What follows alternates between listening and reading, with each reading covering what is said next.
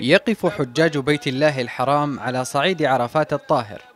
ملبين ومكبرين ومهللين وحامدين الله تعالى على ما أفاء عليهم من نعمة أداء ركن الحج الأعظم. مقتدين بسنة المصطفى عليه الصلاة والسلام يرجون رحمة الله سبحانه وتعالى.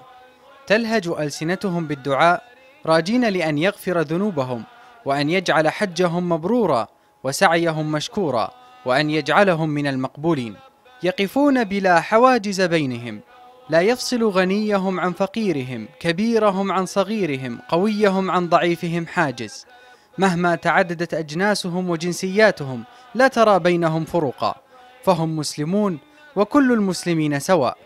يقفون شعثا غبرا يسألون الله رحمته ومغفرته فيباهي بهم الله عز وجل ملائكته ثم يغفر لهم كما صح عن النبي صلى الله عليه وسلم.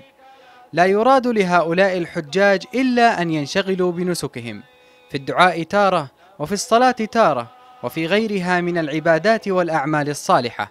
لذلك سخر الله لهم من المسلمين من يعمل على خدمتهم بكل إخلاص محتملين أنواع المصاعب لراحة الحاج.